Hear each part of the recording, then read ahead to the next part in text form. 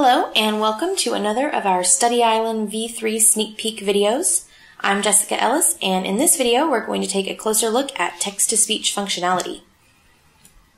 Text-to-speech will allow students to highlight text and have it read to them aloud from within Study Island without having to install any external software or plugins. As you may know, we have had text-to-speech available in the past, but only for grades K and 1. Now it will be available for all grade levels. We've also improved the quality of the pre-existing text-to-speech for grades K and 1. So let's take a look at how that will work for you.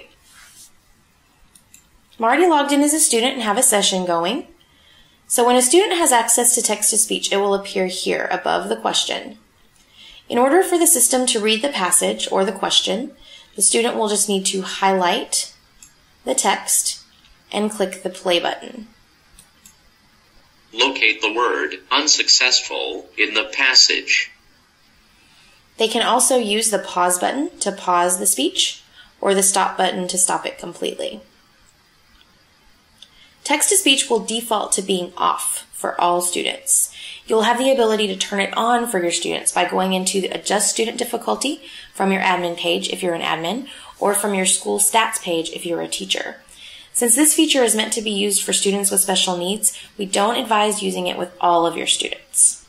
So that has been a look at text to speech. We hope you'll find it useful. If you have any questions or want to discuss this with fellow Study Island users, you can just visit our forums by going to www.studyisland.com and clicking on the Island Community Forums icon at the top right of the page.